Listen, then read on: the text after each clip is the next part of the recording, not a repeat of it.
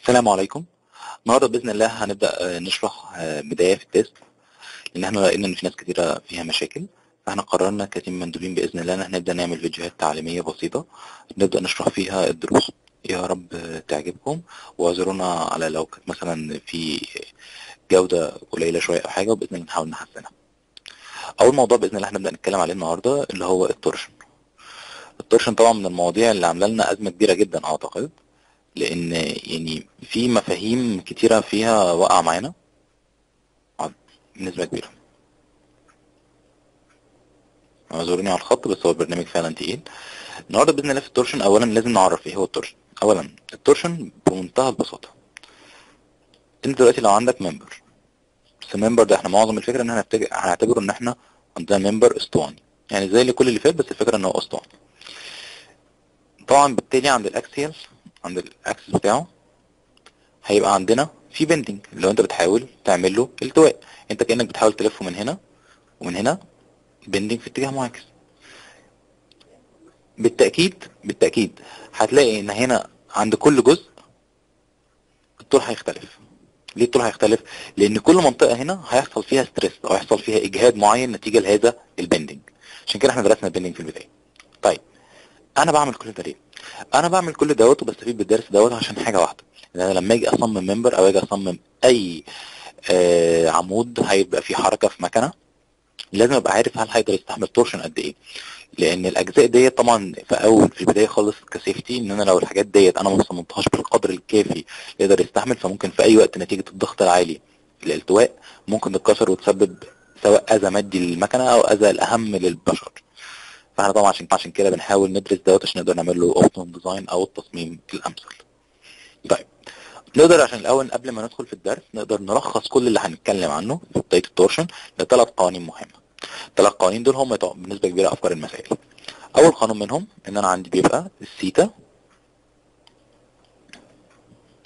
مضروبة في ال G على L ده بيساوي ال torsion. الثيتا دي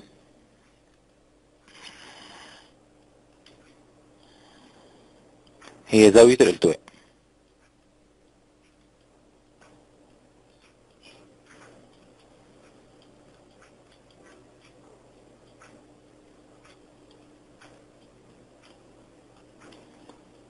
هي الزاوية اللي مثلا بتبقى هنا على حسب نوع على حسب أنت هتمسك ال member منين وتعمل له التواء. الزاوية اللي هيتحرك بيها الالتواء دوت أو يتحرك بيها الجسم نتيجة على المحور بتاعته نتيجة لل bending اللي أنت هتعمله هي دي الزاوية. طيب وال L طبعا معروفة وطول ال member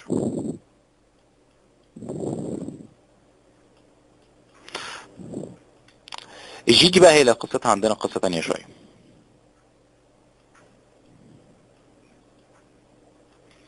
ال G دي إحنا بنسميها معاير أو معامل الاثنين واحد ما تلاقوش الجساءة modulus of rigidity إيه بقى معايير الجساءة ده؟ تعال الأول نحاول نفهمها وبعد كده نبدأ نشتغل على القوانين بتاعتها. لو قلت لك أنا عندي دلوقتي بار وادي بار تاني. لو قلنا إن ده معمول من الحديد وده معمول مثلا كرتون.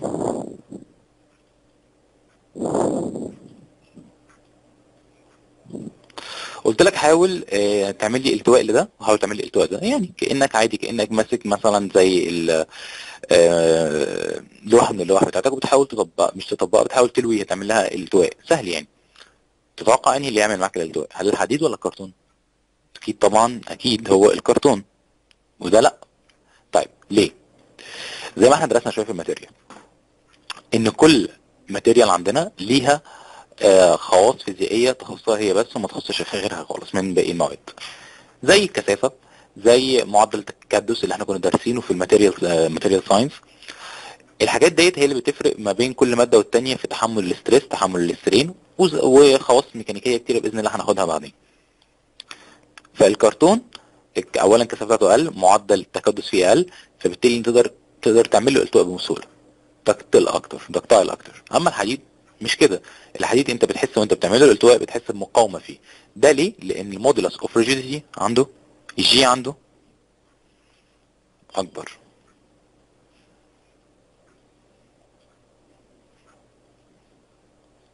فبالتالي لما يجي يحاول معظم المسائل اللي بتيجي هنا بتيجي إزاي؟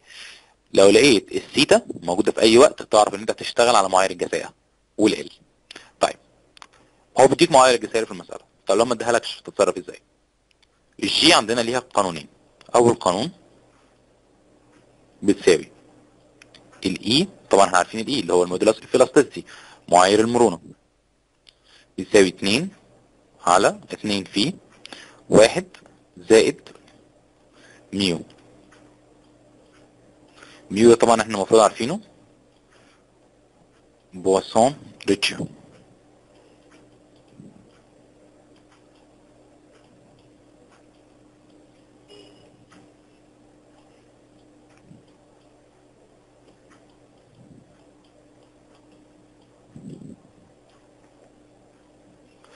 تمام؟ okay. القانون دوت هو اللي هو ادالك ال modulus of elasticity هتقدر تجيبها عن طريق ال Poisson ratio طيب افرض هو مثلا ما ادالكش ما ادالكش ال- اللي هي المفروض ما ادالكش ال modulus of elasticity هتجيبها إزاي؟ ليها قانون تاني. ففي الحالتين أي مسألة هيبقى فيها زاوية هتشتغل دايما على ال- القانون الأولاني اللي إحنا اشتغلنا عليه اللي هو بيساوي سيتا في G على L لو ما ادانيش ال modulus of elasticity لأي سبب من الأسباب بس طبعا أنت كده كده تقدر تجيبه عن طريق ال stress وال strain curve بس برضه افترض ان هو ما ادهالناش ممكن نحلها إزاي؟ ممكن نحلها بالقانون الاتي إن ال G بتساوي ال T اللي هو المفروض ال torsion على ال torsion في ال L على الثيتا في ال IP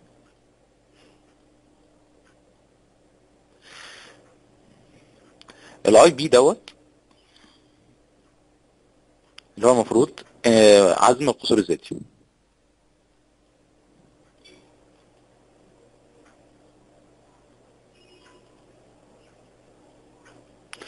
بس خلي بالكم هنا عزم القصور الذاتي للبولر.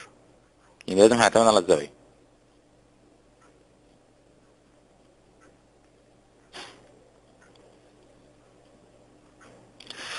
هنا هيعتمد على ال polar يعني هيعتمد دايما على الزاوية. ده اللي هو ال IP بنسبة كبيرة ممكن هو يديهولك. يبقى أنا كده من القوانين اللي أنا عندي دلوقتي. أنا أقدر أول حاجة لما أجي أشوف المسألة هبص الأول هل هو مديني معايا ال G ولا لأ؟ مديهولي؟ طب القانون على طول. مش مديهولي. هجيبه. هشوف الأول هو مديني مديني ال elastic modulus ولا لأ؟ اللي هو دوت ال E طب مديهولي؟ تمام.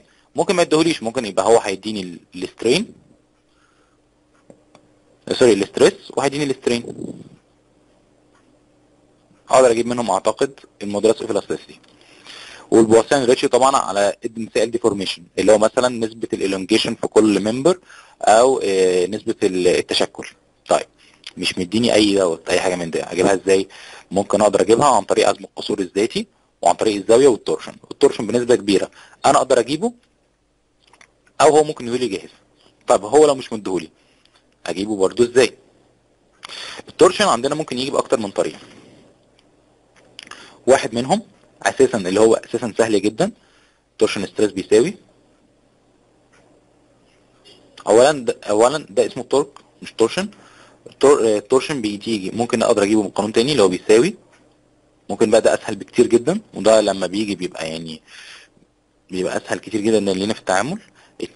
T على IP بس ده قليل لما بيجي. ده بيجي أساسا في حالة واحدة. القانون دوت أنا بستخدمه في حالة واحدة فقط. ركزوا بقى معايا. تخيل إن عندي دوت وجات في امتحانات على فكرة. عندي هنا.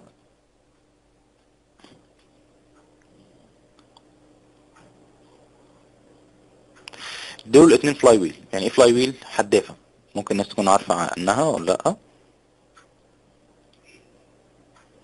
الحدافه ديت عبارة عن قرص. القرص دوت بينقل الحركة الدورانية من آه، من المحرك لجزء تاني ميكانيكي. طيب أنا عندي هنا اتنين حدافه طبعا اللي هيبقى ما بينهم دوت ده شافت عمود. طبعا أنا بسميه هنا يعتبر إيه؟ يعتبر ده منبر بالنسبة لي.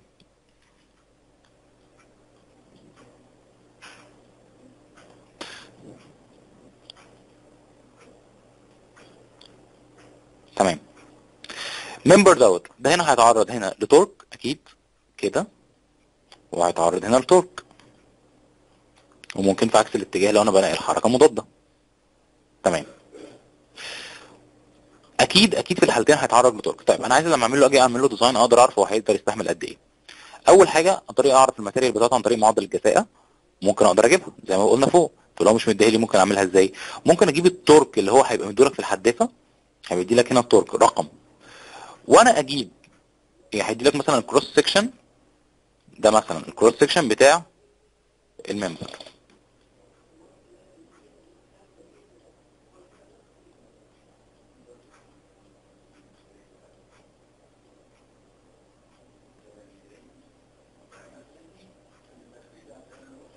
ده ال cross section افرض مثلا لو مديلك ال cross section بتاعه وقال لك أنت جيب لي منه ال IP لو أنت جبت من هنا ال IP اللي هو المفروض